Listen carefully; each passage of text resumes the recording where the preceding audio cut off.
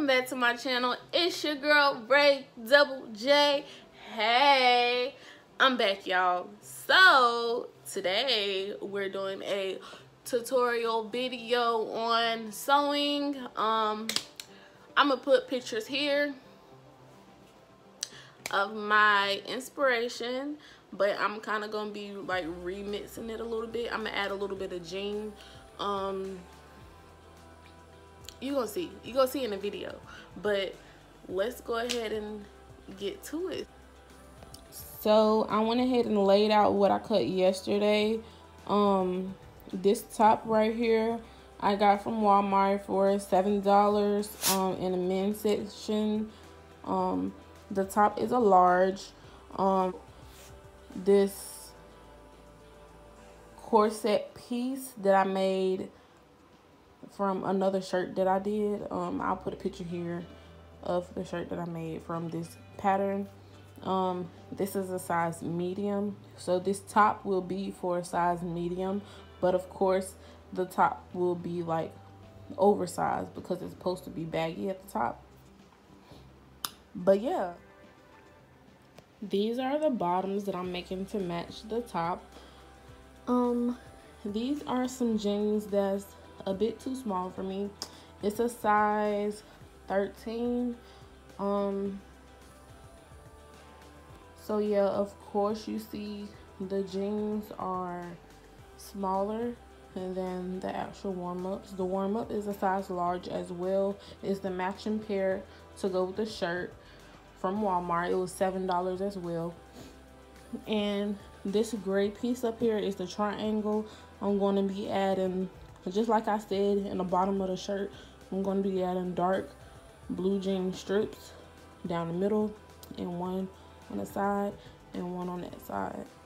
That's going to be the back piece. You see how this is the front piece. That's the back piece to go at the top. But yeah. And it's just regular sweatpants. It's scrunched at the bottom. Sorry, forgive me. I know my toes are not done, but don't look too hard. It's scrunched at the bottom and both legs are like that. Of course, you know how sweatpants look. Oh yeah, and I made sure I didn't cut um all the way down because I still wanted the pocket. So yeah. I'm really excited about that. I never seen nothing like this before. So I'm excited to see how this is going to turn out. Of course, I think I am going to gather a little bit um right here to make it fit I'm going to gather in right here just a little bit. It's going to be an even gather all the way around. But yeah.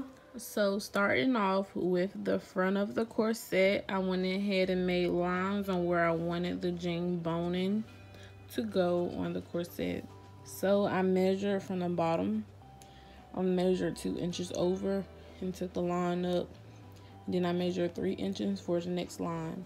Then I did the same thing starting from this side over. I did the same thing. So yeah, these lines right here is where the jean boning is going to go. Now, this is the back of the corset. I started off by measuring from the bottom where the middle lands um, for the back of the corset. I put a line right up the middle and then from the middle I measured three inches. No, four inches over, I'm sorry, and then put a line right here. And I did the same thing, start from the other side, four inches over this way, and then I put a line right there. So in the back, on the back, I'm gonna have one, two, three jean boning strips for the back. And all of the strips should be about an inch and a half wide. So don't worry about you know how long it needs to be. As long as it's long enough to fit you know on the part where the boning is going to go. Okay so i'm starting with this line right here. I'm going to place um the jean piece a little bit like not right on the line but a little bit over the line But when I start sewing, I'm gonna make sure I sew so the line is right here. I'm gonna make sure I sew right beside the line on the on the left hand side. Okay? The left hand side of the line.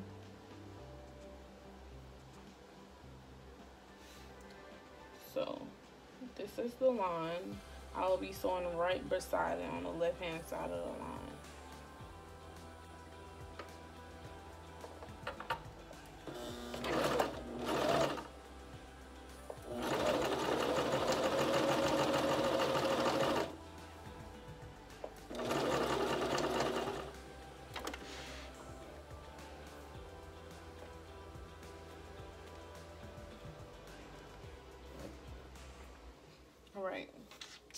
So that's sewed now I am going to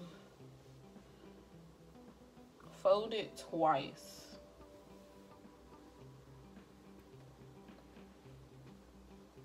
So one fold and then two fold.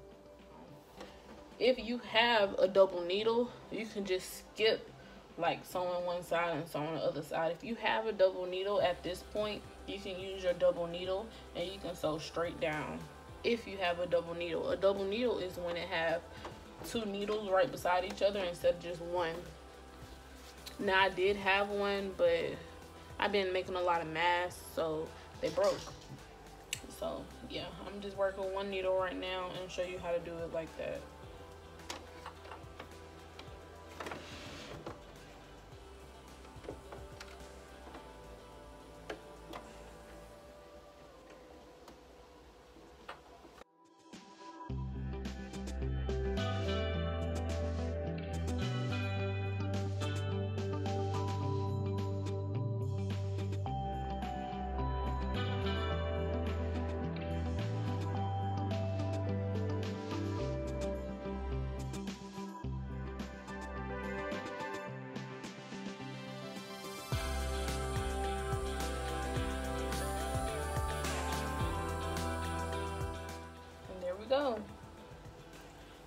That's one boning piece down. I'm to go ahead and do all of the boning pieces off camera since I already showed you how to do it. I'm to do the boning pieces for the back and finish these up for the front as well.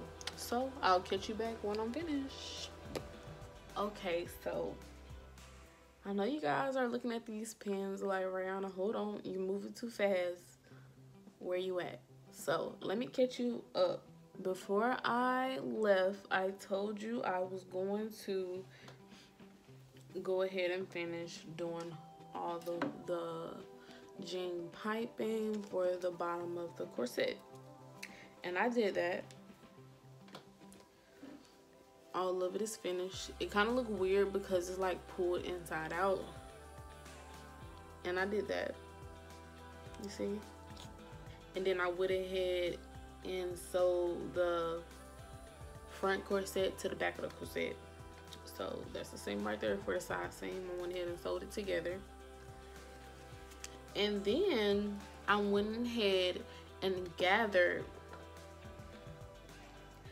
the top of the the top of the sweater. I went ahead and gathered the middle of the back of the sweater and I went ahead and gathered under each each boob on the top of the sweater. Because remember the top of the sweat the sweater was baggy. So it should be gathered under the boob in the middle in the middle of the back. That's where I gathered it at okay? And after I got gathered it I pinned it to the corset so that's what all of these pins are for. Um the way I gathered it I just gathered it with the pins but if you know how to gather it on the sewing machine you can do that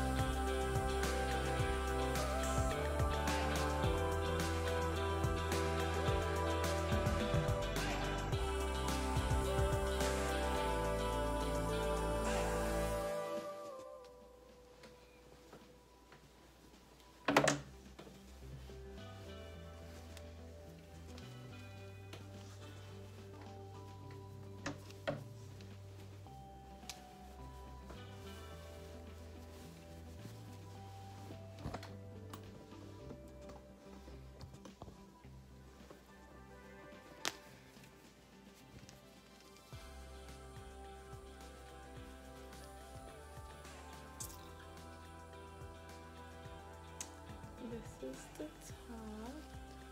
top. I'm really proud of myself. I am about to go ahead and finish it up. Um, right now, I don't feel like I need to put this part on video, but I'm gonna show you guys where I'm at right now and what I'm about to do. And then I'm gonna come back to you guys and show y'all how I look on the mannequin. So I just, okay, so you see where it's gathered at?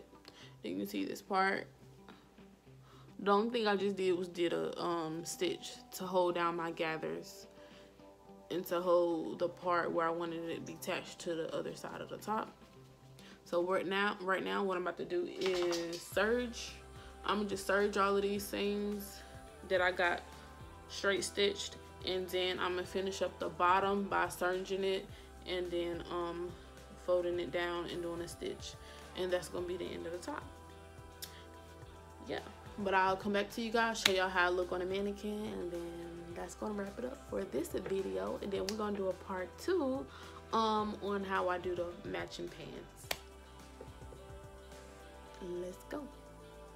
All right, you guys, we are back, and I love how it turned out. I kind of like the way I did it better than um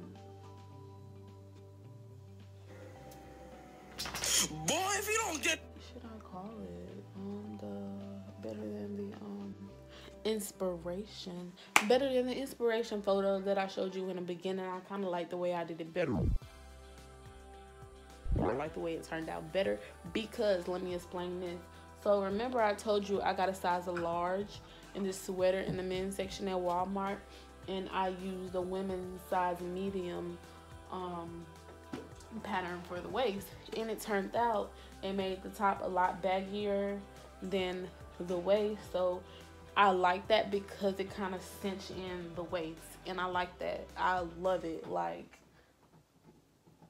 I love it. So the size for this shirt would be a medium but for you girls that's a size medium and you know tops it would be better for someone with some you know some some a lot going on up here. You know what I'm saying? So yeah, um, yeah. I really love this top. I love the way it turned out a lot better than my inspiration picture. Um, yeah, in another video, I'm gonna be showing you the bottoms to go with this top. Um, and then I'm gonna see if I can find a model and um do a, a third video and have a little photo shoot, record myself doing a little photo shoot with my model. Um, yeah. So it's gonna be three videos on this one outfit. Y'all ready? Y'all gonna stay in there with me to the end to see it all put together. Stay in there with me. Stay in there with me, please, please. But yeah. I'm so excited excited about this outfit. But one thing I didn't do in the video that I'm gonna go back and do, I'm probably not gonna record myself doing this, but I'm gonna tell you. So if you guys are following along with me to make this top, you'll know what to do. So, okay. You see this part right here, right? So, because the waist part is so tight and this is so baggy, it kind of like falls and covered. I don't like that. I want to see that part right there in the middle. I want to see, you know, I want to see it. So what I am going to do is get some, um, I don't know the name of it, but you know the little piping or wire things that be in bras, like it be like right there at the bottom of the bra. I'm to get that and I'm to insert that right here on this side of the cup and on this side of the cup and that will help you know support this bottom part to you know so you can still see it on a person. And it'll also help hold the person boobs up too and they'll look right in the actual top. So yeah. I can't wait to put this on somebody. I really can't wait. Can't wait. But yeah that's what I'm gonna do right there. I don't have it on me right now, so that's why I'm not gonna put it in this video. I'm gonna go ahead and edit this video and put it on YouTube.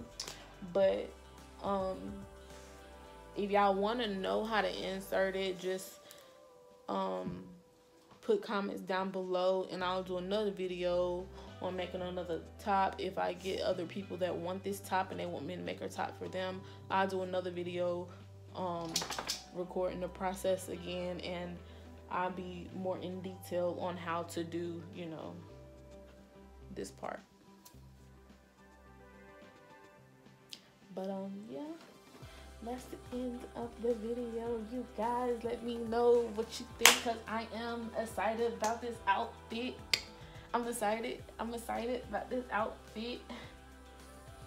Yeah. I really love how this turned out. I'm about to call my mom and call my auntie now and show them, see what they say. All right, bye.